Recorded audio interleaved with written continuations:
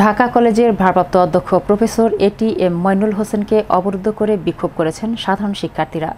মঙ্গলবার বিকেল তিনটা বিশ মিনিটে অধ্যক্ষকে অবরুদ্ধ করেন তারা। এ সময় ক্যাম্পাসে পুলিশ কেন?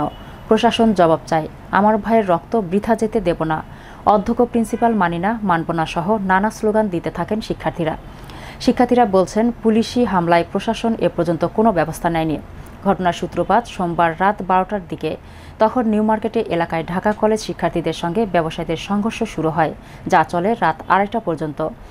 মধ্যরাতে দুই পক্ষকে ওই এলাকা থেকে সরিয়ে দিয়ে পরিস্থিতি নিয়ন্ত্রণে আনে পুলিশ।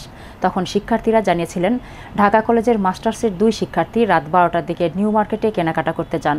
কেনাকাটা নিয়ে ব্যবসায়ীদের সঙ্গে তাদের কথা কাটাকাটি হয়। এক পর্যায়ে দুই শিক্ষার্থীকে ছুরিকাঘাত করা হয়। এমন খবর ক্যাম্পাসে ছড়িয়ে পড়লে নিউ মার্কেট এলাকায় যায় ঢাকা কলেজের একদল শিক্ষার্থী। পরে ব্যবসায়ী ও শিক্ষার্থীদের মধ্যে সংঘর্ষ বাঁধে। রাতে পুলিশ পরিস্থিতি নিয়ন্ত্রণে আনে। তবে আজ মঙ্গলবার সকাল থেকে নীলক্ষেত মোড়ে অবস্থান নেন শিক্ষার্থীরা। এ সময় ব্যবসায়ীরা সড়কে চলে এলে দ্বিতীয় দফায় শুরু হয় সংঘর্ষ। সকাল সাড়ে দশটার পর নীলক্ষেত মোড় থেকে সায়েন্স ল্যাব পর্যন্ত এলাকায় থেমে থেমে সংঘর্ষ চলে। পরিস্থিতি নিয়ন্ত্রণে আনতে কাদানে গ্যাস ছড়ে পুলিশ। কয়েকটি ককটেল বিস্ফোরণের শব্দও পাওয়া যায়। সংঘর্ষের এক পর্যায়ে বেলা এগারোটার দিকে ঢাকা কলেজের শিক্ষার্থীরা কলেজের গেটে এবং ব্যবসায়ীরা চন্দ্রিমা সুপার মার্কেটের সামনে সড়কে অবস্থান নেন।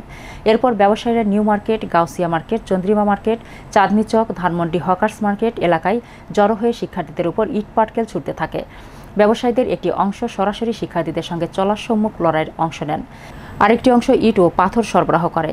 এদিকে সংঘর্ষে এখন পর্যন্ত চল্লিশ জন আহত হওয়ার খবর পাওয়া গেছে। তাদের মধ্যে ঢাকা মেডিকেল কলেজ হাসপাতালে ভর্তি রয়েছেন বেশ কয়েকজন। আবার অনেকে চিকিৎসা নিয়ে ফিরে গেছেন।